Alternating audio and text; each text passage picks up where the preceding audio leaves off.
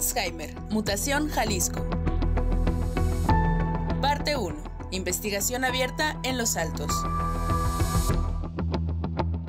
Pérdida de memoria, olvidos, cambios de comportamiento, desorientación.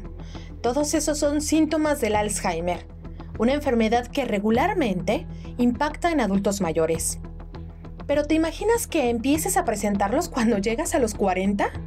Es el Alzheimer temprano, al cual los doctores identifican como autosómico dominante, y decenas de personas en la región de los Altos de Jalisco lo padecen. Esta es una de las 200 mutaciones en un gen que están relacionadas con el Alzheimer y puede provocar la aparición de la enfermedad antes de los 65 años.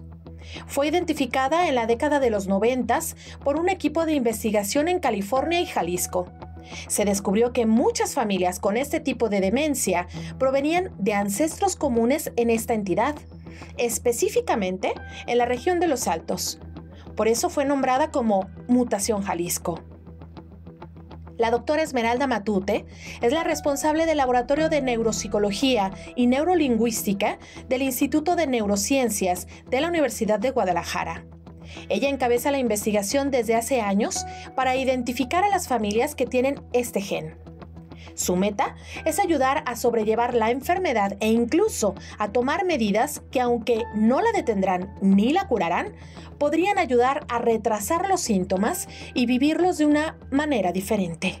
Somos un equipo interdisciplinario de alrededor 16 personas que trabajamos eh, por un objetivo común, que es conocer más la enfermedad de Alzheimer autosómica dominante que se presenta aquí en Jalisco. Un Alzheimer tiene este Alzheimer una dos características muy principales. Una es que sí, se presenta antes del envejecimiento, o sea, antes de cumplir los 60 años de edad. Y la otra característica que tiene muy peculiar es que se rige por las leyes de herencia, o sea, es familiar, se presenta en familias aclaró que aunque se le denomina mutación Jalisco, ya hay reportes en todo el mundo de esta alteración genética, pero es importante conocer a los pacientes y analizarlos para saber si desarrollarán la enfermedad o no, y así tomen decisiones. Además, se busca encontrarles tratamientos eficaces porque en la actualidad no los hay. El doctor Luis Figuera es el precursor de este estudio aquí en Jalisco tiene 30 años trabajando en ello.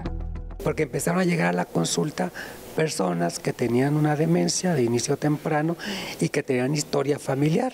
Entonces al principio pues sí, mira, es algo genético, pero no le dábamos tanta importancia porque pues no tenemos tantos recursos para hacer estudios genéticos, esa es la verdad.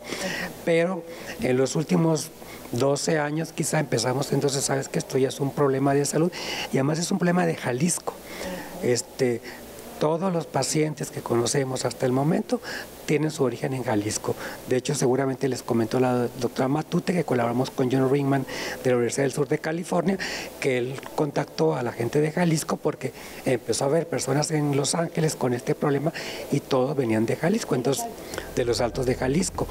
El objetivo de estos estudios también es desmitificar la enfermedad, darla a conocer y desterrar los mitos e ideas erróneas de la gente como que se trata de una maldición o una posesión diabólica. Porque sí, dado que algunos casos muestran mucha violencia, hay gente que piensa que los enfermos están poseídos. Durante esta semana te presentaremos esta investigación que realiza la Universidad de Guadalajara desde hace más de 30 años, en la que han hecho una búsqueda histórica de los inicios de esta mutación para que al conocerla cada vez más puedan acercarse los investigadores a una cura del Alzheimer.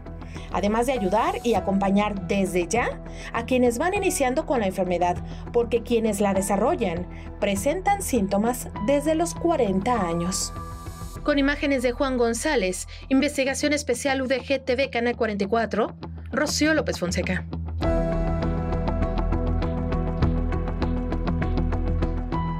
Alzheimer, mutación Jalisco.